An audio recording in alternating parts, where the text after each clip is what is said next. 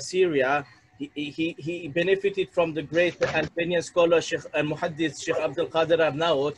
Afterwards, he traveled to uh, Saudi Arabia where he stayed a long time and he associated with the great scholar, the Shuyukh of the Hanabila, Sheikh Allama ibn Aqil, and with uh, Ibn Jibrin and many other scholars. The Sheikh as well took ijazas from many of the great scholars of India and Pakistan, uh, starting, I mean, with Sheikh Abdul Ghaffar Hassan, the father of Sheikh Suhaib Hassan, and many other scholars and muhaddis from India and Pakistan. The Sheikh as well wrote many of the biographies, like I mentioned you before, when uh, Sheikh Ahmad Lakvi did his talk, his great grandfather, uh, ancestor Hafiz Muhammad bin Barakallah Lakvi was a student of Mian Nazir Hussain Dehlvi. Sheikh Adnan Rashid's uh, ancestor Hafiz Minajuddin Hazarvi, who, who hosted the Ghaznavi family when they were expelled, they were students of Mian Nazir Hussain Dehlvi. And Sheikh Suhaib Hassan's grandfather as well, Sheikh Abdul Jabbar Malpuri. And Sheikh Muhammad Ziad Tuklah wrote, got ijazas from through all the scholars and wrote all the biographies in his Arabic work and on the forum alukah.net. So the Sheikh now, uh, mashallah, he's a very prolific writer and researcher. He, he's now completing his PhD in UK. He has done his uh, MA and other studies. He's Imam in um, in Derby in Al Hadith Masjid. So without any, he will speak now about a great scholar of Syria, about which the, uh, the Sheikh has written a book, Sheikh Mohammed Bahjat Bitar, who was a great scholar. So without any further ado, inshallah, we're very honored to receive uh, Sheikh Mohammed Ziad Tuklah, mashallah. May Allah give him tawfiq. So inshallah, he will carry on from now. Jazakumullah khairan. إن الحمد لله نحمده ونستعينه ونستغفره ونعوذ بالله من شرور أنفسنا وسيئات أعمالنا. من يهده الله فلا مضل له ومن يضلل فلا هادي له وأشهد أن لا إله إلا الله وحده لا شريك له وأشهد أن محمدا عبده ورسوله. أما بعد uh, جزاكم الله خيرا for this uh, encouraging and uh, introducing. I know myself that I'm still a student and I'm only trying to serve scholars as much as I can but that doesn't mean that I'm a scholar or I'm only a researcher and still a student, طالب علم. أسأل الله سبحانه وتعالى to forgive us all and uh, guide us to uh, truth and uh, huda. Uh, I hope voice is fine, brother, before I carry on. Okay. Yes, it's all clear. Inshallah ta'ala. جزاكم الله خير. First of all, uh, thank you very much for inviting me for having this chance uh, with my dear scholars and uh, friends and students. Uh, and secondly, I want to apologize from the beginning that my English is not my first language. So uh, you will find this during my lecture. I tried to make it in Arabic, but uh, brother said that it should be in English. So I'll try my best, but uh, please forgive any shortness in language and information. فما أصاب فمن الله عز وجل وما أصبت من الله وما أخطأت فمن نفسي ومن الشيطان. So what we'll have a speech today uh, or tonight is for about a, a very great scholar in uh, Damascus uh, who had a lot of effects in Syria, in Hijaz, in many other places, and also had a good relation with the scholars even in India and many other regions in Egypt and other places, Iraq. his name is Muhammad Bahjat al-Baytar, rahimahullah ta'ala. Uh, this scholar, uh, we will have this uh, word about his life in two parts. One about his biography and the other about his story, the next one. Okay, so I hope now you can see the screen now. So Sheikh Muhammad Bahjat al-Baytar, rahimahullah ta'ala, he's the grand scholar of Asham, of Damascus. His name is Muhammad Bahjat ibn Baha ad-Din, ibn Abdul Ghani, ibn Hassan, ابن إبراهيم ابن محمد ابن حسن البيطار الميداني الدمشقي الميدان uh, is a quarter it was uh, outside Damascus but now from last century it's now continuous with Damascus it's in the south of Damascus and it's well known about scholars and as a religious quarter uh, from the most religious quarters a part of Damascus his family is from a, also a scholarship family uh, it returns to Buleida from Algeria. His great grandfather Hassan came to Asham in the 12th uh, century. And when I'm, I'm using uh, for the dates and history, I'm only using the Hijri Islamic dates. So he was born in Damascus in the second of Ramadan in the year 1311, and he studied there his uh, uh, for school until uh, secondary, and also he uh, he learned French. Then he started from his own, uh, from his private uh, studying from the year 1326 to many of the grand scholars of Damascus, and he, they are his father Baha'u'ddin, who was uh, a well-known uh, Imam and a Sufi uh, Sheikh, and his grandfather from his mother, uh, Abdul Razak al-Baytar, a very famous historian who has his book حلية البشر في تاريخ القرن الثالث عشر, and his main scholar, Imam Jamal al-Din al-Qasimi. So he was studying with him more than three years until his death, and also he studied to Badr al-Din al-Hassani, the main scholar of Damascus, and to Muhammad al-Khadr al-Hussein. This is an all uh, uh, footage of Damascus. And this is also from Hayy al-Maidan, from his quarter. And here are his scholars uh, that he studied to, Jamal din Qasimi and his grandfather Abdul Razak Baytar and Badr din Hassani and Muhammad al-Khadr Hussein. And he took ijazah from these four. And when Mahmoud Shukri al-Alusi, the great scholar of uh, Baghdad and Iraq, he came to Damascus in the year 1330, he met him and also he studied uh, with him. He mostly was influenced from his two scholars, Jamal al-Qasimi and Abd al-Razzaq al-Bitar, and studied hadith to both of them and to Badruddin Hassani. And also he uh, benefited from Muhammad Rashid Rida by his uh, famous uh, magazine, Majallat al-Manar, and uh, from the books of Sheikh Sam Taymiyyah and his student uh, Ibn Qayyim al-Jawziyah. He was uh, very sharp and intelligent from very early, very early, so he wrote a response on Yusuf al-Nabhani, his poetry al-Ra'iyah, when he was 19 years old only. Then he made also a response to one of the Shia scholars, uh, scholars called Naqd Ain al-Mizan. He supported his teacher Jamal Din Qasmi when he was 20 years old only. Uh, it was printed uh, 1331. And uh, when he was in the year 1328, he was 17 years old. Uh, his father passed away, so Muhammad Majid al-Bitar uh, was the imam uh, in the mosque Al-Qa'a, an imam and khatib and uh, a teacher there. Uh, that's uh, the mosque on the right hand. And then after seven years or six years, his uncle Ahmad also passed away, and he was the imam and khatib in the main mosque in Hayy al-Maidan. It's called Jami' Karim al-Din al-Daqqaq. You can see it on the left side of the footage. And this is the second uh, biggest uh, mosque in Damascus after the Grand Umayyad Mosque. So he uh, moved there and he was now the Imam al Khatib. And after one year, in the year 335, his grandfather Abdul Razzaq passed away. So he was also uh, replacing him in all his uh, teaching uh, jobs. he, he stayed as a Khatib and an imam until uh, he gave the imama to his cousin. Then about uh, khataba and uh, tadris, he gave it to our Sheikh Abdul Qadir Na'ut before he passed away, rahmatullahi alayhima. So from the life of his uh, Sheikh Jamal Din Qasimi and his grandfather Abdul Razak al-Baytar, he was mentioned that he's the uh, from the most sharp students for them, even that he was still young. And there were some senior scholars that they studied to them like uh, Sheikh Hamid al-Taqi, it's uh, different than Hamd al-Faqi uh, and many other scholars in Damascus, but Jamal Din Bahjat al-Baytar, he was considered that he is the most, he's the best of their students.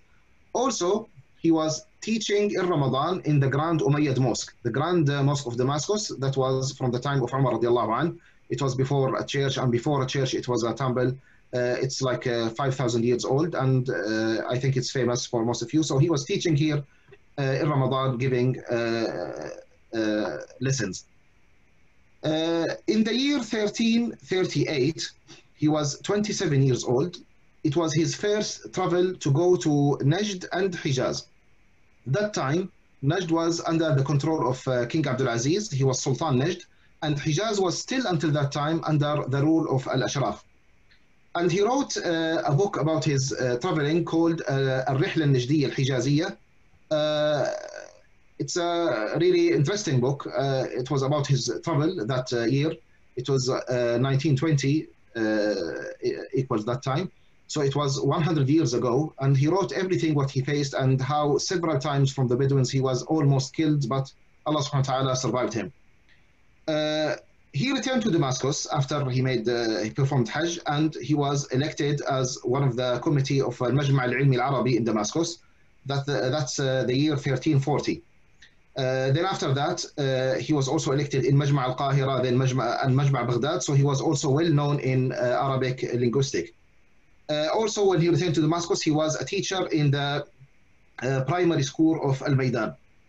Uh, from that time, he was uh, beginning to be, uh, his fame began to uh, uh, spread, and he was well known that he's from the, the main student of Jamal Din Qasimi and the Salafi movement in Damascus.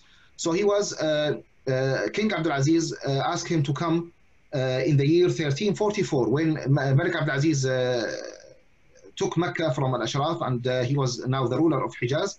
He invited many scholars, among them was Sheikh Muhammad Majid al-Bitar, in the uh, Common Islamic Conference in Mecca. So he he reached there and he came to uh, the conference and also performed Hajj. And when King Abdulaziz saw him, how intelligent he was and how qualified, he asked him to stay there to establish the first uh, schools and the modern type of schools in uh, the new uh, Saudi Arabia. Uh, in that year, it was also had something uh, something good to say about that year. Uh, it was the year that after the conference there was a, a big meeting for Ahl al-Hadith from India that they came to uh, Mecca. And also uh, Sheikh Rashid Rida came from uh, Egypt. And Sheikh Muhammad Bahjat al-Baytar came from Damascus. And there was some senior scholars like Abdullah bin Bulayhid, the head of the court in, of Mecca, and there, there was from India came the Ghaznawiyin and also Sheikh Thana'ullah Amritsari. And uh, they were that time uh, the settlement came between uh, Thana'ullah Amritsari and the Ghaznawiyin because there were some arguments 20 years before when Abdul Haq Ghaznawi he wrote uh, his uh, book about Arba'in that Thana'ullah is not from the Muhaddithin about uh, for the Tafsir Thana'i and uh, the his speech about the characters of Allah subhanahu wa ta'ala. It was some argument that time. I think that many of you have an idea about it. So after that, uh, this conference, there was a settlement between them, and uh, there was a small uh, booklet uh, was printed called Sulh al-Ikhwan ala Yad al-Sultan. So Muhammad Majid Bitar, he was from those who made the settlement between In India that time. He stayed in uh, Mecca and they established the the institute, the scientific uh, institute, Al-Mahd al-Ilmi Saudi for five years. Also, he was teaching in Masjid al-Haram and also when he was going to Medina, he was teaching there. So he was teaching in both Masjid al-Nabawi and Masjid al-Haram. And uh, he was very close to King Abdulaziz. So he made him uh, also from uh, the very high, uh, the senior uh, judges in the court of Mecca. And then uh, the also in Idarat al-Ma'arif to be also in the educational committee in in uh, all the Saudi Arabia and also uh, to be the inspector, the main inspector for the Durus in Al-Haram and uh, many senior jobs there. Uh, but after a few years, Muhammad Bahjat, after five years, he wasn't uh, happy about being in the court. And what was mentioned from some of his students that even in that time, he wasn't taking any money about uh, working in Al-Qada in the court and he was only taking the salary from uh, teaching. So uh, at the year 1350, uh, he asked King Abdulaziz to return to Damascus. He returned to the, uh, uh, the mosque there, uh, teacher and al-Khatib. Also, he was teaching in some private schools.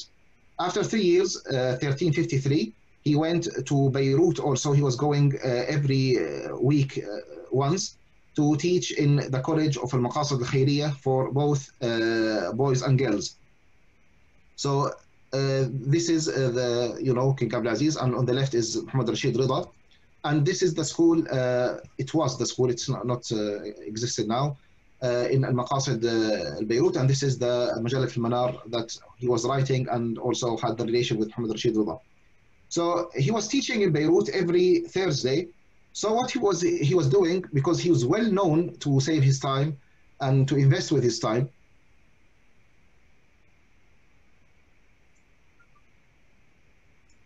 Okay, uh, so he was every time when going by train from Damascus to Beirut, he was taking the book of his teacher, uh, Qawaid al-Tahdith, the book by Jamal bin Qasimi, a very famous book in Mustalah al-Hadith, and he was uh, correcting the, pro the provost uh, for uh, preparing to uh, print it.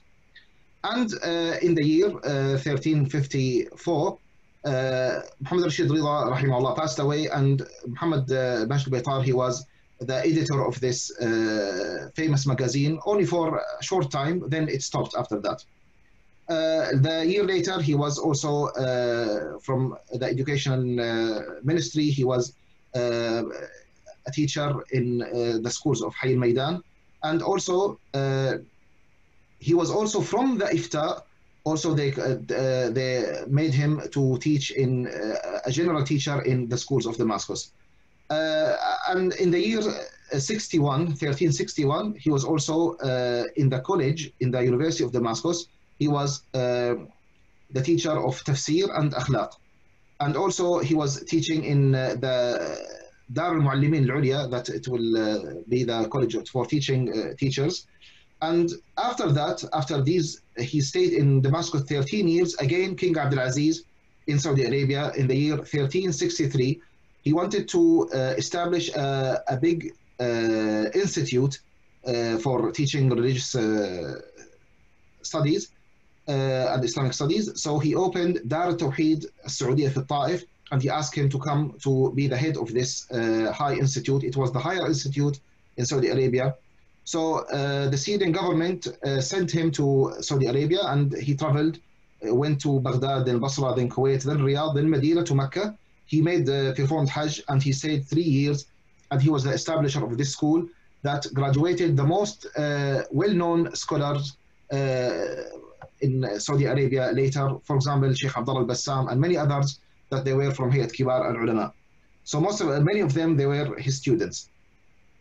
And he returned after three years to Damascus, also teaching in uh, the University of Damascus. Uh, this is Dar Tawheed uh, Taif, the old building and the building later, still uh, until now. And this is the University of Damascus when he returned uh, to, uh, to teach. Then he uh, retired at the year 1374. But still, he will continue his teaching in mosques and writing articles and also in the radio and giving lectures in the radio. And also, he will give some lectures in the, the College of Sharia, and also he was uh, still working with Majma' al-Lugha in Damascus and Baghdad and Cairo together. Uh, together. And Adnan Khatib, who was uh, Rais Majma' al-Lugha, the head of the Majma' al-Lugha, said that he was the most person uh, active in uh, the Majma'. Uh, in the year 1380, King Saud, he was now seven years the king of Saudi Arabia after King Abdulaziz, he asked Majid Bitar because he knows he's qualified that they want to have the project to open Al Jamia Al Islamiyah, Islamic University in Medina. So he, they asked him to write the curriculum, the main uh, curriculum. He wrote it and he sent it to the Mufti Muhammad bin Ibrahim Al Sheikh. Then he came to the university when it was opened uh, next year at the year, uh, year 81. And also he gave some lectures there. This is the Islamic University, some of the old photos. And uh, this is the first uh, committee when they meted, and you can see the names who were there. And Sheikh Majid Bitar, he is, uh, you can see it on the left. This is his name. He is Sheikh Abdulaziz ibn Baz, and you can see Sheikh Ali Tantawi, Abdul Razak Afifi, Sheikh Al Albani, Dawood Ghaznawi, Ali Abu Hassan Nadwi, and Muhammad Al Abbad, Abdul Muhsin Al Abbad, Muhammad Ibn Shanqiti, and many other scholars from the main scholars from all the Islamic uh, world. And Sheikh Muhammad Bahjat Bitar, he was among them. Uh, so he was really uh, in Damascus. He was well known that he is the head of the Salafi school in uh, Damascus. Many benefited from him. Even many came to the Salafi uh, movement because of him. For example, Sheikh Ali Tantawi, uh, and even his teacher uh, who taught him French. Also, he converted to Islam because of Sheikh Bahjat al-Baytar. He was well known and had a lot of people that were influenced from him. He wrote a lot of uh, books, 15 books. Uh, as we said uh, from the early ones, he was only 19 years old and 20 years old. from the famous books that he printed, he also that was from his last books, Hayat Shaykh al-Islam ibn Taymiyyah.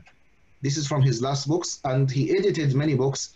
Like from the famous one is Masail Imam Ahmad uh, by Abi Dawood al-Sijistani.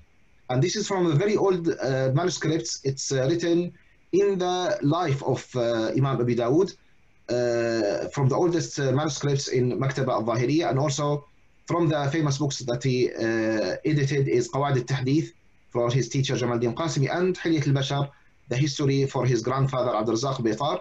He was also writing in many other senior magazines like uh, Al-Manar and after that Al-Hadi Nabawi that was by Hamd, al al-Faqi uh, in Hijaz and Egypt and also in Majallat Al-Tamaddun al-Islami and he was part of the society Jam'iyyat Al-Tamaddun al-Islami.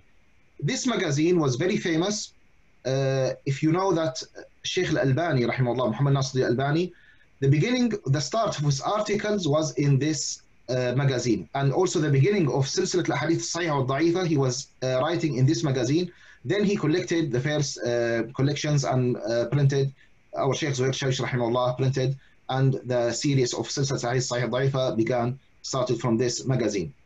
So uh, Sheikh Majd al-Baitar also was uh, had a lot of a lot of articles and also he wrote a lot of introductions and taqreed for many books like Al-Naqd wal-Bayan for uh, Azzuddin al-Qassam and uh, Kamil Qassab and also uh, uh, also he had a lot of uh, letters sending to many scholars uh, for many issues for example, his son told me that he had 1,000 letter between him and between Muhammad Rashid Rida, and he had a lot of letters with the main scholars of Iraq and India and uh, Hijaz and Egypt. Uh, that will be uh, also has a lot of uh, historical importance. Also, he was a poet. He had a lot of good poems. one of them is in Madih Nabawi, and he presented one in his book Al-Rihla Najdi al-Hijaziyah and he had a lot of uh, things.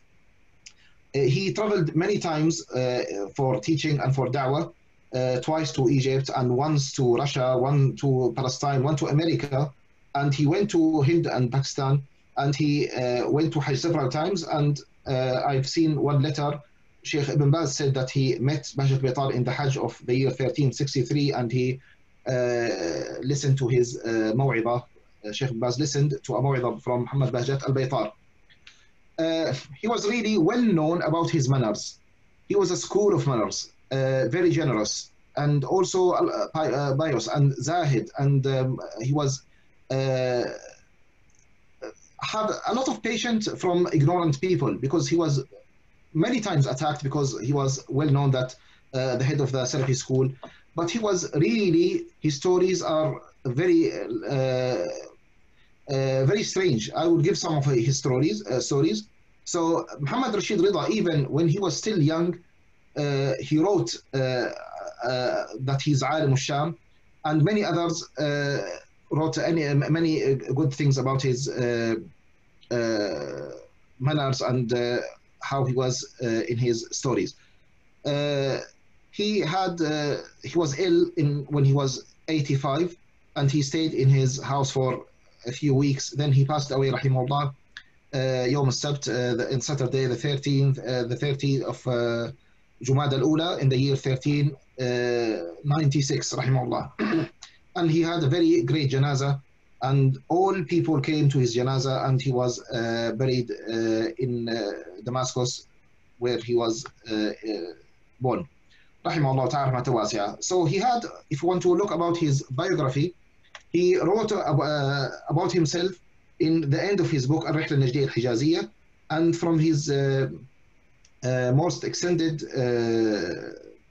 biographies are written by Adnan al-Khatib in booklet called Majma'iyun Iftaqadna and also Bashir Ibrahimi wrote in Jarid al-Basair about him and his uh, student Ahmed Ratib al-Nafakh and also his student Muhammad Ali Tantawi in Rijal al-Tarikh and also Musallam al-Ghunaymi and uh, Sa'di Abu Jay from his main students, they uh, also wrote uh, good articles about him in the uh, Majallat al-Tamaddun al-Islami and uh, he has a great uh, biography in تاريخ علماء دمشق في القرن الرابع عشر from our Sheikh Muhammad Buzair Hafiz and uh, many others. And from these are from the original sources, but there are also some recent good research about him. One of them is by Usama Shahada in Bayan magazine, and also our friend Sheikh Muhammad Nasser Al-Ajmi in his book Walid Al-Qurun Al-Mushriqa.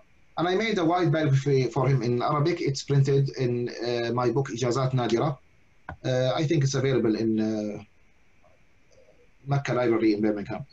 So now we will go to the second part of his uh, biography uh, about uh, his stories.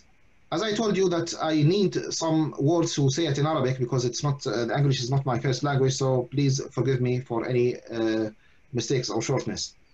So he was, uh, he had izzatun nafs and uh, he was not accepting from anyone anything. Uh, uh, for example, this is a story that I heard from my Shuyukh Abdurrahman al-Bani and Muhammad ibn Lutfi al-Sabbagh rahimahullah. They are both students of Sheikh Bahjat al-Baitar and also I uh, heard it from uh, Asim, the son of Sheikh Bahjat al-Baitar rahimahullah. Rahmatullah al-Jamay, they are all passed away. He told me that uh, when King Abdulaziz, he was admired from the work of my father in establishing the new system of uh, education in uh, modern uh, education in Saudi Arabia. He called, he asked him to come and he gave him a gift in his uh, majlis. So he said that Sheikh Bahjat, he refused and he didn't take it. And Sheikh, uh, and then the King Abdulaziz, he said, you, you must take it. And Sheikh Bahjat, he said, please, I will not take it. Then King Abdulaziz, he was angry and he said, look, Sheikh Bahjat, our gifts, nobody can reject it. You must take it.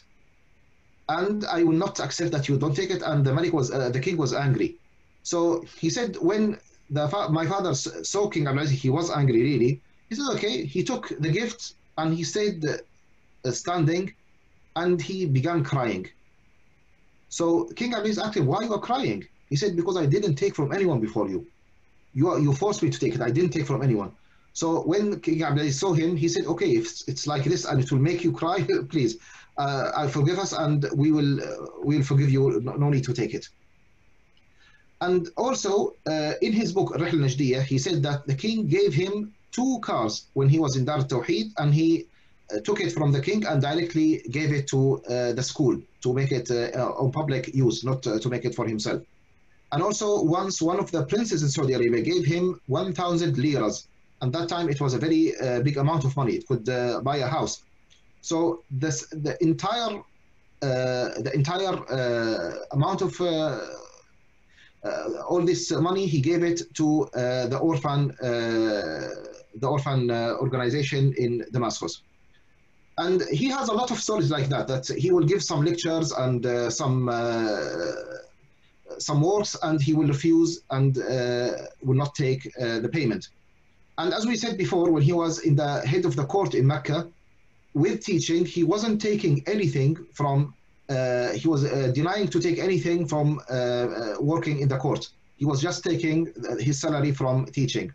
Even that, the salary of the court was double the, his salary of the salary of teaching. And uh, one of his students, Sheikh Ratib, uh, Dr. Ratib al-Nafakh, he said that in his end of his life, when he was when he was speaking about his memories, about uh, uh, what he was making before, and when he was remembering that he was once in his time, in his life, he was uh, a judge, he was crying, and he said that he can't continue speaking from how he was uh, emotional and crying. Uncle Sulaiman Hafian, the father of my friend Sheikh Dr. Omar Hafian, he told me several times that he was working in the uh, in the television station in Damascus. He was an engineer there, and Sheikh Bahjat Baitar, he was going there, and the the television in Damascus, the station is uh, on the on the mount of uh, mountain uh, Qasyun. So nobody can reach there until they go from the uh, by the bus to reach there because it's not a, a place that uh, you can go, walk and go there. So he said once I was going in the from the station that goes uh, the the bus go the, the coach goes from there to uh, station and uh, to the television station. And Sheikh Bahjat Bitar, he came, but I saw him, he was searched, trying to search in his pockets, but I realized that he didn't have money with him. So it was something like one lira or two lira or something like that, something uh, like you will say a quarter pound. So I gave and I paid the ticket for him, and he was really shy. That sorry, I, I, I forgot to bring money with me like that. He said after a while, uh, he came to the bu- to the bus and he saw me and he directly came to me and paid. Me. He say, "Okay, thank you very much. This is what you paid me last time." He said, "It's something, nothing to speak about. It's nothing." He said, "Even you should take it." And in one time, Sheikh Lutfi Sabbagh said that once Sheikh was walking uh, on a street, and one of the very uh, famous merchants of uh, his uh, quarter, Al Maidan, saw him and he asked him, "Please, I will." I will pick you and I will take you wherever you want. Sheikh said, okay, Jazakallah khair. It was a very, he was a very rich man and a very expensive car. So when he reached where Sheikh Bahjat Bitar wanted, when he wanted to, he uh, took some money from his pocket and said, okay, thank you very much, and this is the payment for your uh, journey. He said, what you're saying? Well, I'm, uh, you know me, I'm the merchant, and this is a, like a, a gift. He said, even you made me a favor, and I need to give you as like that. So he said that people were like laughing the street and that one, man was really angry but Sheikh Bashir Bitar he said no you give me a lift I will pay it for you Sheikh Sabbagh told us uh, from the main students of Sheikh Bitar he said that if Sheikh Bitar wanted dunya he would be from the, uh, the richest of the rich because he had very special relations with kings and princes everywhere especially in Saudi Arabia but he didn't ask anyone and he was um, most of his life poor and when he passed away, he had nothing with him. And this is the story that we will take later, inshallah ta'ala. Uh, Sheikh Abdul Qadir Na'ud told us that uh, the Sheikh was teaching in some schools and some places, and he wasn't taking the salary. Others, they knew that Sheikh Bahjat, he, he will not take the salary from there. They will go and they will claim that they will take it uh, to Sheikh Bahjat and they will take it for themselves. And Sheikh will not uh, ask about it. And uh, once also, our Sheikh Sabbagh, Muhammad Sabbagh, told us in his uh, house uh, while they were, uh, he was inviting Sheikh Al-Qadir Na'ut and Sheikh Abdurrahman Al-Bani, and said that Sheikh Zuhair Al-Shawish, Rahmatullah Al-Jami' he wanted to give Sheikh Bahjat Bitar some money about, because he printed some books for Sheikh Bahjat, and it was, he wanted to give him the payment of this printing, and Sheikh Bahjat also refused, refused, and he said, Jazakallah khairan, I must give you money because you are printing for me and you are spreading my knowledge and things like that. So all of them said that he was really zahid in this dunya.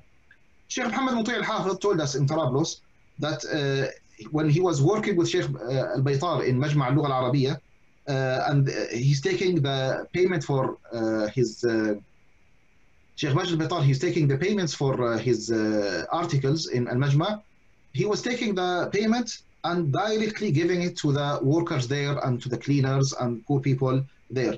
And he said he and another person called Haytham al-Khayyat were making that. Musallam al-Ghulaimi in his article about Bahjat Bitar said that when Sheikh Bahjat Bitar uh, passed away, all poor, uh, poor uh, people in his area came to his janazah because he was always giving him his salaries and every that and he was really beloved from all people one of his stories uh, to know what example this man was. Uh, al-Ghanaimi, also from his very close student, said uh, in his article that when uh, Baj al-Bitar uh, came from Saudi Arabia, he had uh, some payment that he was gave as the end of his uh, services. So he came there, and uh, it was the time, the first time he came, still uh, France was uh, colonizing uh, Syria. So the Ministry of Education stopped, and the wars, the jobs from the government stopped. So what Sheikh Bahjat Bitar will do, uh, he said that let us open a private school with uh, his very close friend Sheikh Izzuddin al-Tanukhi and his old student Taysir Dabyan. And he gave them, borrowed them from his money and they opened the school, but this school didn't survive and didn't uh, succeed. So after uh, one month, uh, it lock, locked and, and it stopped working and they closed the, the school. And Al-Ghulaimi, this, who wrote this article, said that after one year, I asked Sheikh Bahjat, uh, what did you do with the, the money that you gave them? So he told, the, told him, he said, look, my son, this project and this uh, was uh, this school uh, didn't succeed and it was closed and they didn't have anything from it. So even if I lose my money, does it mean that I will lose my uh, my uh, my old friend Izzuddin or my old student uh, Taysir? This is my brother and this is my son, and to lose friends doesn't worth uh, all the dunya to if I lose these close friends because of some money. So I I want you to know that I forgive them. I will not ask them for the money that uh, I come, and that was his full reward from teaching Saudi Arabia. Uh, another story, uh, Sheikh Abdurrahman al-Bani and Sheikh Maluf Sabbagh told me that uh, once when he went to his uh, the dars of his teacher, Muhammad Khadr Hussein, it was in winter and it was a snowing day and it was like a snowstorm. And they said that no one thought that anyone can go outside his house that time in Damascus. And because there's uh, hardly to find anything to, uh, to uh, public transport or buses or taxis. So Sheikh Bahjat reached, he, even in these conditions, he went to the Dars time for Sheikh Muhammad Khadr Hussein, who was really know that he was a bit uh, anxious man. So he came a bit late because of what we've seen that uh, every uh, place was snowing and there was no public uh, transport. So when he came and he knocked the door for his sheikh, sheikh was opened the the window up the door and he uh, showered Sheikh Bahjat with water and he said, this is because you came late to my dars. So Musallam al-Ghanimi, when he also uh, add this uh, story in his article about the death of uh, Baytar, he said that the story didn't finish like this. That's what I heard from Sheikh al-Bani and the Sabbagh. But Musallam al-Ghanimi said that later uh, I was coming to one of his durus and we came also, he had a dars after Fajr and we came late and Sheikh was uh, waiting us.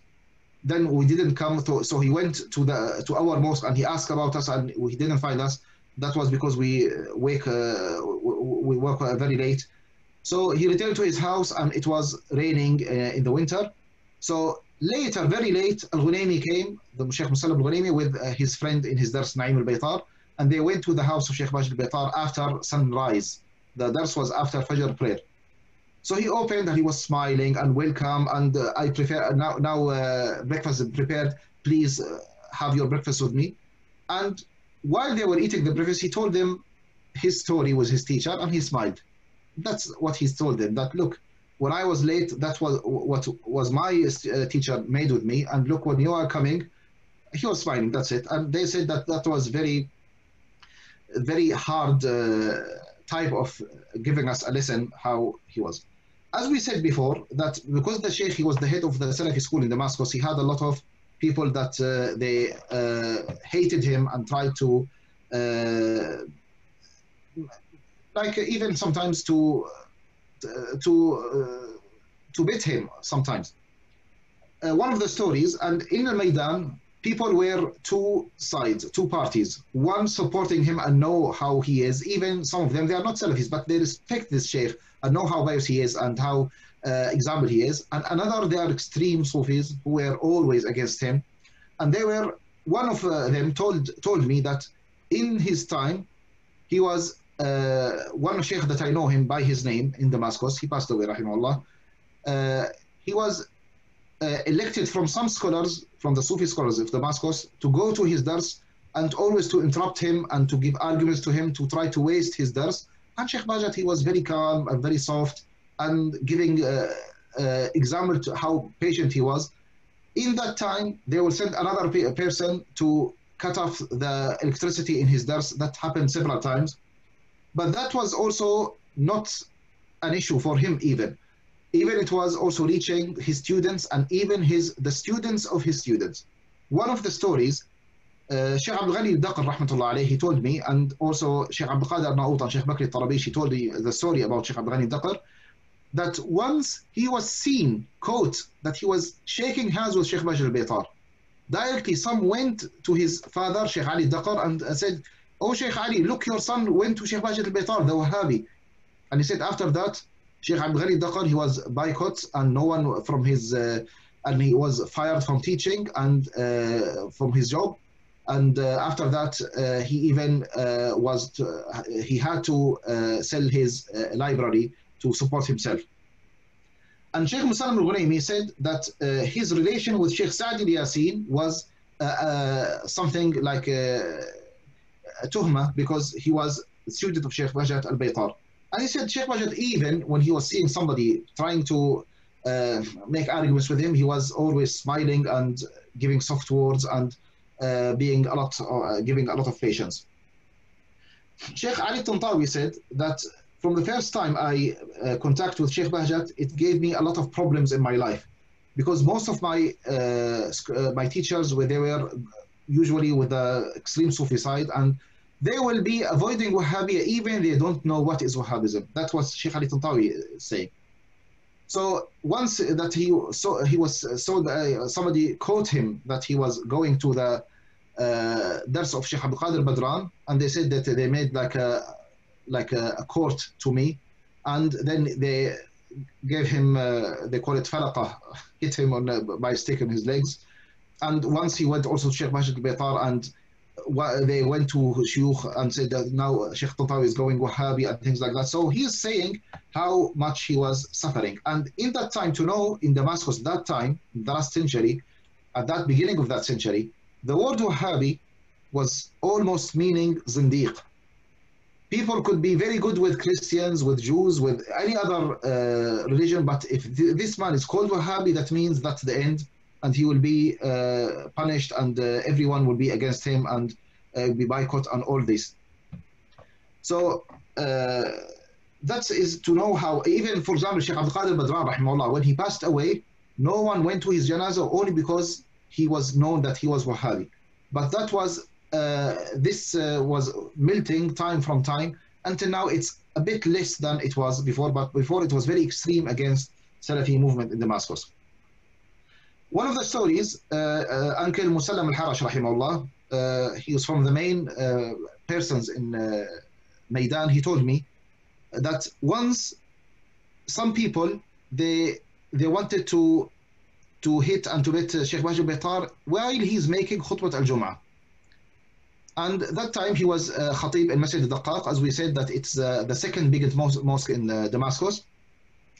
So when he started to uh, begin the khutbah Jum'ah, one started and said, this uh, Sheikh Bahjat, he claimed in a, loud voice, Sheikh Bahjat say, says this mas'ala is bid'ah.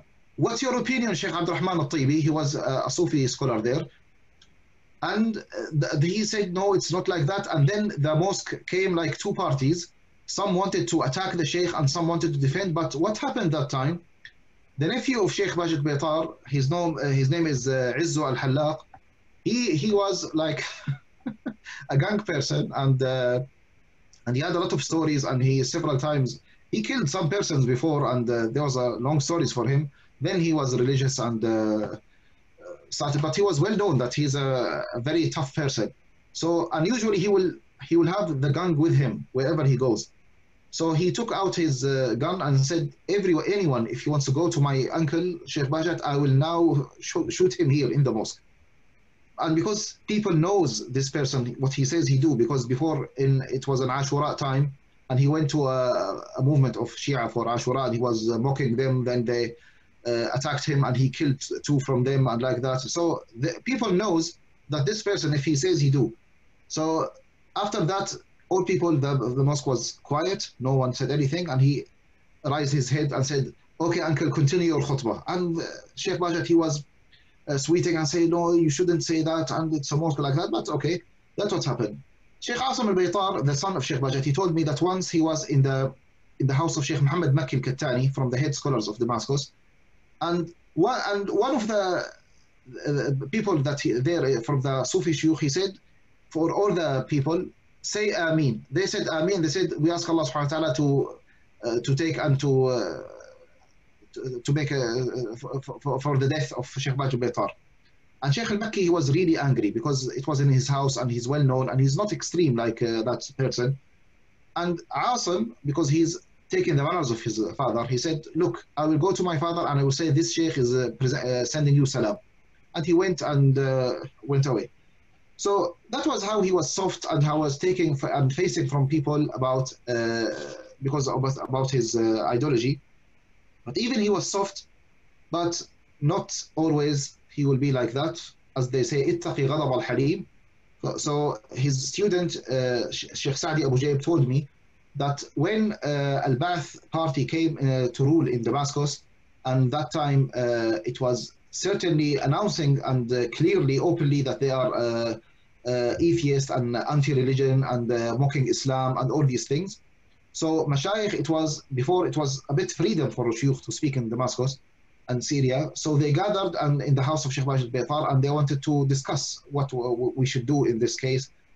Then he was like explode uh, in uh, in anger. Sheikh Bahjat Baytar. He said, "Now you uh, wanted to to work when people wanted to work correctly. You were fighting him, and you were only looking about Uh, your uh, what will benefit you, and you will not look about." And they were working with the youth, and you only was uh, fighting people who's liking to make reformers like me and others. Now you realize that you need to work after things finish and after they are ruling now. So he said, and then it was the first time I can see him that angry, but it wasn't because of my himself. It was because he was very sad about what was happening. He was very generous, and also he had a lot of uh, things to help and to support uh, researchers. For example, Sheikh Bahjat al-Baytar, he was the person that uh, had the idea to Sheikh al-Albani to make his great book, Irwa al-Ghalil, and also uh, Raghib al-Tabbakh, when he edited the book of Ma'alim al-Sunan, uh, the commentary of Sunan Abi Dawud by Al-Khattabi, he said that I needed the book of Aoun al-Ma'bud by Shams al-Haq al-Amri Abadi. And that time it was very rare. That time there was nothing to download from internet or uh, so could be the only copy it was by, uh, in the house of Sheikh, uh, the library of Sheikh Bahjat and he gave it to him until he finished uh, his work. And many researchers said, for example, Hashim al-Nadwi, when uh, in the ending of the fourth volume of Tarikh al-Kabir al-Bukhari, from Hyderabad, he said that uh, when we wanted to print the book, uh, Sheikh Baj Baytar knew that and he sent us a very valuable uh, copy of the book from Al-Zahiriya as a gift. Uh, many other, many scholars, he said that he was uh, really generous giving and uh, giving from his from his science and giving from his money and he was teaching the books of As-Salaf. So, for example, uh, al-Qasimi said that he was teaching Sahih Bukhari. Sa'di Yasin said that he was reading with him At-Tawheed ibn Khuzaymah, مقدمة ابن الصلاح العلول الذهبي اجتماع الجيش الإسلامي ابن القيم عقيدة السفاريني إرشاد فحوش الشوكاني uh, all these books are books that were not usually uh, read in Damascus and Muwafaqat Shatibi and others. Uh, in the biography of Sheikh al-Din Hassani, we can see that Majid Baitar asked his, his teacher why we study hadith. So uh, Badruddin Hassani said to work with hadith. So he said, Jazakallah khairan, you are the first person to tell us this because almost mashayikh are telling us that reading hadith is only to barak for barakah, not to work and not to only to make it for barakah and things like that. Uh, one of the stories, uh, Sheikh Abdullah Alloush, rahimahullah, who passed away a few days ago, rahimahullah ta'ala, the father of Sheikh Mujahid Zahran Alloush, he told us that uh, when he was a student in Riyadh, uh, King Saud, he opened Al Mahad Al Ilmi in uh, Riyadh, and uh, they sent some Syrian students uh, to study. One among them was Sheikh Abdullah Alloush, rahimahullah. So he told us that Sheikh Bahjat Baytar came to us and he told us about how important to seek knowledge and to uh, uh, save time uh, learning and researching. And he said, try to speak all your speech in fluent Arabic, Al-Arabi al-Fusha. And make like a, a, a box. Whoever uh, makes any mistake, he should put amount of money there. And Sheikh Ali Tantawi said before that Sheikh Baji Baytar, almost all his speech was uh, by Al-Fusha. Uh, so he said in that, um, in, in, while he was speaking to us, he said one uh, like a slang or an word, then he uh, smiled and he said, okay, I'm the first person that I made a mistake in Arabic language, so I will be the first to put money in this box, and he puts there some uh, some money. There's a lot of uh, there's a lot of uh, things that we can say about uh, this person, how uh, his influence, how his contribution in many type of science. from the thing he had, Majlis al-Jumu'ah, it was the most famous majlis in Damascus.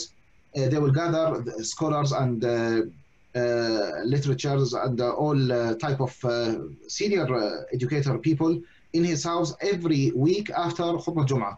So they will pray uh, Jum'ah in his uh, mosque. Then he will go there. And Sheikh Ali Tantawi was like the, the director of this jalsa, uh, this uh, meeting. Every time they will uh, give an idea, they will speak of something. Sometimes they'll say, okay, this uh, this uh, this meeting we will have it only in uh, we'll only speak in uh, poetry. Everyone want to make anything, he must give by like a verse or two verse, like that. And there was a lot of things and like um, discussion about scientific uh, books and uh, many ideas that came from this majlis. And what they said that Sheikh Ali Tawi said that he was giving always that Sheikh Bahjat Bitar is serving them um, lunch, and he said that only Kus al Mahshu he should be the every week that should be the uh, the food. And this majlis, many from the many uh, famous people from the Islamic world who visited Damascus came to his majlis in uh, Friday, like Shakib Arslan, Muhammad Nasif, Abu Hassan Nadwi, Abdul Hamid bin Badis, Bashir Ibrahimi, uh, Abu Al Maududi, many others, they came to his majlis. Uh, what I can say about uh, this person, because now we are uh, almost uh, at the end of our time, and there's a lot of things to say. Uh, from uh, his stories also, uh, Sheikh Bahjat al-Baytar, rahimahullah, uh, he said, uh, one of the says of uh, Sheikh Bakr al-Tarabishi said, he was the highest chain in uh, qira'at in the Islamic world, said that uh, Sheikh Bahjat al-Baytar, rahimahullah, he was uh, مفخر دمشق علما وأدبا وسلوكا ومحبة لرسول الله صلى الله عليه وسلم. وكان بعض أهل الميدان يؤذونه كثيرا ويتكلمون عليه وأشهد أنه لم يتكلم فيه من يقاربه فضلا وعلما وأخلاقا وزهدا.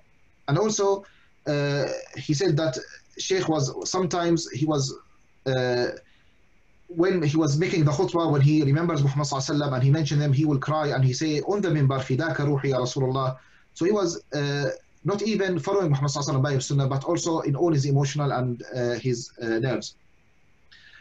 If you remember Sheikh Abdurrahman al-Tibi that we mentioned that one uh, that he was the head of the Sufi mashayikh that uh, they will bother Sheikh uh, Bashir Baytar.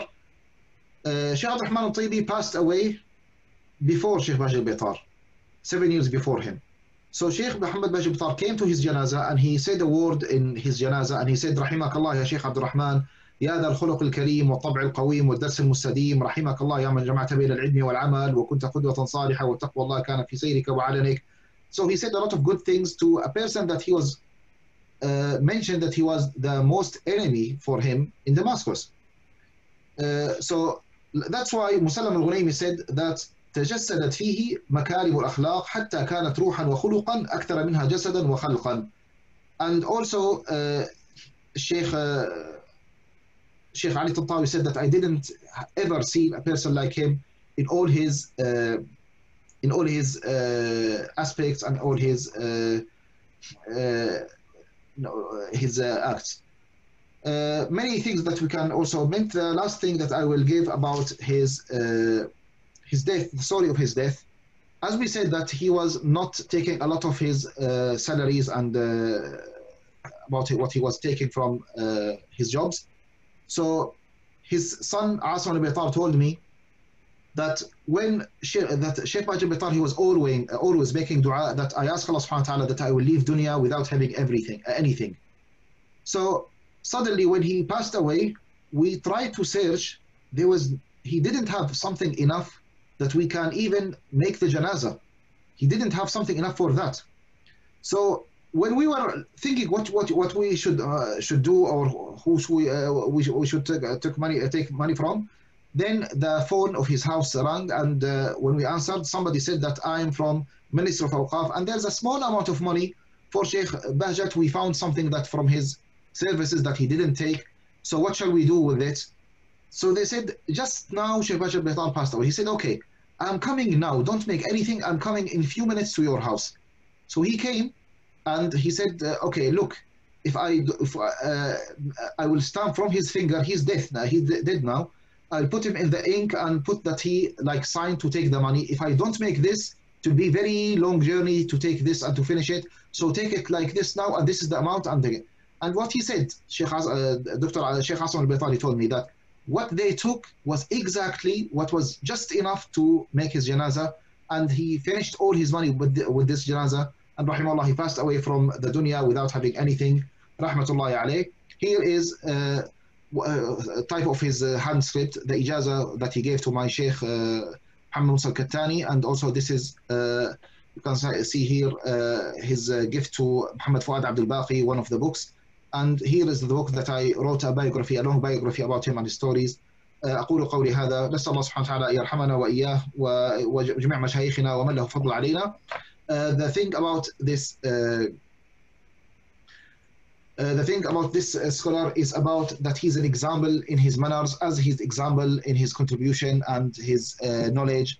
Uh, when some will say about some Salafis or some that they are like sometimes they don't have this uh, manners or things you can face with somebody like him رحمه الله تعالى Dawana, دعوانا أن الحمد لله رب العالمين وصلى الله وسلم على نبينا محمد وعلى آله وصحبه أجمعين Thank you very much for listening and for inviting me. Wassalamu alaikum wa rahmatullahi wa barakatuh.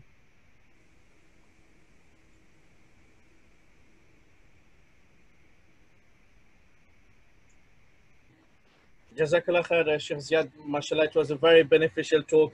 I mean, we hope next year, inshallah, if everyone gets vaccinated, uh, and inshallah, next year we can invite you with Sheikh Suhaib and other of our elders, scholars from UK, and Sheikh Walid Manisi and other scholars, and we can have a good uh, conference in Cambridge with uh, our community and others. Jazakallah khair. May Allah preserve you, Sheikh, and take many services from you. And Thank you for encouraging.